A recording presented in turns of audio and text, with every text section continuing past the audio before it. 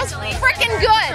No, it's really, you know, it's uh, it, it means a lot because real people, like you know, people from high school and my Facebook friends, they voted, and and that's really special. And and, and I think our show uh, is is just a really funny, simple, down to earth comedy that you know. Thank God for CBS that's keeping this this genre alive. I, I really give a lot of uh, props to Les Moonves and everyone over at CBS for, for keeping this thing alive. I mean, we shoot in front of a live studio audience, and Jimmy Burrows, like the king of sitcoms, is directing us. And Jay and I and everyone on the cast, we have so much fun, and it's nice to, to be here and, and and to be wearing high heels.